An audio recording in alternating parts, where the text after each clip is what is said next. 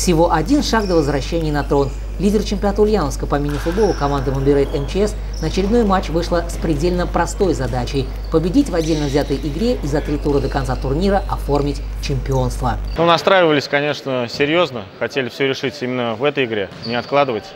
Вот, тем более, как бы лидируем с неплохим отрывом.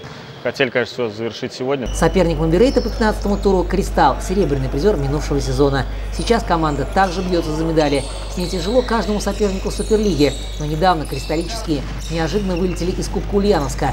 На стадии 1-8 финала они проиграли Смене, которая находится в нижней части турнирной таблицы.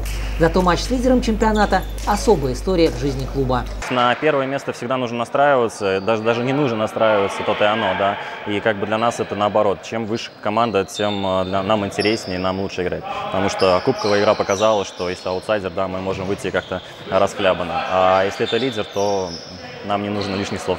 На первых минутах Мобирейт навалился на ворота соперника так, что лучший вратарь прошлого сезона Антон Загородников вертелся как белка в колесе. Свою команду он спасал раз за разом, но всем было понятно – гол лидера чемпионата – дело времени. С таким же настроением будем играть, нормально. Это, Серж, Серж, ваша четверка, маленько у вас не получается. Давайте низом. У вас верхом как пошло вот это вот, и потерь очень много.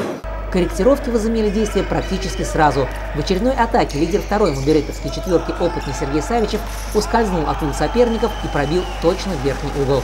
Такие удары не парировать даже Загородникову. Чуть позже подоспела и вторая голевая атака. Теперь уже Виктор Злыгарев продавил оборону Кристалла и, по примеру Савичева, пробил в девятку. Только в правую. Загородников снова не удел. 2-0. Лидер чемпионата подтвердил свой статус. Команда не сделать движение вперед-назад. Ну все, по точкам 4 встали, конечно, они накрывать нас будут. И не избавляйтесь от мяча. Чего уже терять? Давайте, давайте получим удовольствие. Для нас главный соперник – это мы. То есть наш настрой, наша там, самоотдача – это главное. Что мы компенсируем, что нам не хватает, мы компенсируем физической работоспособностью и своими бойцовскими качествами. Именно бойцовские качества помогли «Кристаллу» вернуться в игру. Шла заключительная минута первой половины, когда «Кристаллические» получили право на штрафной. Его взялся исполнять Никита Елисеев.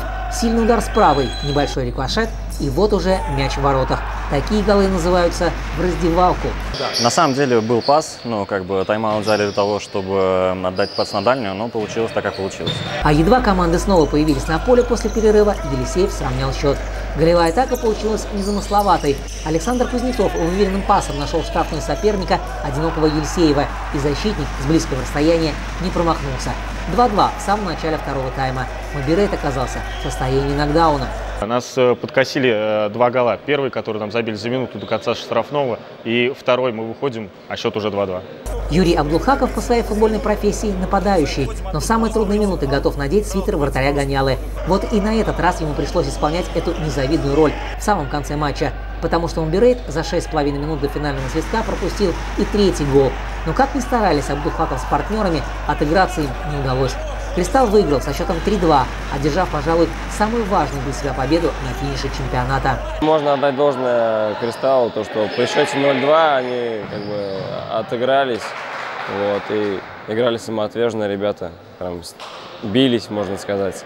Вот. Ну, как бы мы тоже, я считаю, то, что первый тайм сыграли хорошо, но во втором тайме немножко подрасслабились, усталость появилась у ребят в ногах. Все-таки до этого сыграли там за 12 дней 6 игр. Вот. И я думаю, может быть, даже где-то в этом причина. э, То, что во втором тайме немного у нас вообще игра не пошла. Если в первом тайме мы выглядели вообще просто здорово, то во втором не показали той игры, которую должны были показать. Три хет-трика и два удаления. 15-й тур оказался довольно богатым на события. Он начался с волевой победы ПСК над сменой. На гол Александра Костенко ПСК ответил хет-триком Романа Набиева и победил 4-1. Михаил Толзаров из УМЗ забил столько же, сколько и весь Симбирск, а заводчане выиграли 10-3. Владимир Гвоздев также забил трижды и помог своему контактору обыграть Штальбург 8-2. И, наконец, Платон, хоть и пропустил уже на первой минуте от юниора, в итоге праздновал успех 6-2. Второе поражение в чемпионате практически не повлияло на чемпионские планы Мобирейта. Платон хоть и сократил отставание до 7 очков, но за три тура до финиша это все-таки довольно много. Кристалл, благодаря победе над лидером, не только сохранил за собой третью строчку, но и повысил свои шансы даже на серебро. Календарь оставшихся игр у кристаллических куда легче, чем у конкурента. Шансы ПСК и УМЗ на место в итоговой тройке тоже имеются, но они средненькие. А вот шансы Штальбурга остаться в Суперлиге просто мизерны. Их еще называют теоретическими. Правда, команде Александра Куневского от этого слаще не становится. Очередной 16-й тур пройдет 16 марта. Его главной встречей станет противостояние ПСК и Кристалла. Для одних это последняя возможность постараться попасть в тройку призеров, для других победа позволит бороться за серебряные медали. В матче первого круга между командами была ничья 3-3. Как будет на этот раз, расскажем через неделю в нашем традиционном обзоре.